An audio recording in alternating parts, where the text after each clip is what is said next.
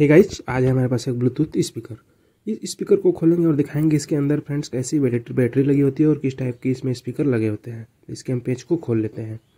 और friends page खोलने के बाद इसके हम कैप को पीछे वाले निकाल लेंगे। और फ्रेंड जैसा कि आप देख सकते हैं, इसमें एक छोटी सी बैटरी लगी हुई है, जो कि फ्रेंड्स ये बैटरी लिथियम आयन बैटरी होती है फ्रेंड्स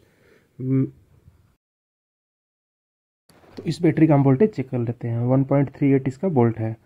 फ्रेंड इसके अंदर अब जैसा कि आप देख सकते हैं हमारा बैलून बढ़ाने और घटाने का है। और फ्रेंड इसके आगे एक हमारा यूएसबी पोर्ट लगा हुआ है, जिसमें हम पिन ड्राइव को लगाते हैं। और फ्रेंड ये माइक्रो एच कार्ड लगता है इसमें। और फ्रेंड्स एक आगे स्विच है, जिससे हम ऑफ़ ऑन करते हैं। और आगे एक इसमें चार्जिंग पोर्ट दिया हुआ है। इसमें हम चार्जर लगाते हैं। तो देख सकते हैं, इसमें रेड लाइट जल रही है।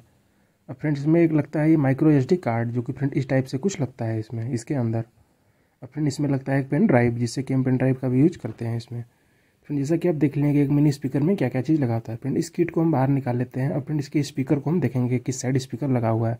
तो फ्रेंड स्पीकर इसके जस्ट ऊपर लगा हुआ है, ऊपर के साइड। तो फ्रेंड, इसकी जाली को हमें निकालना पड़ेगा। तो फ्रेंड, हमने जाली को निकाल दिया है इसमें।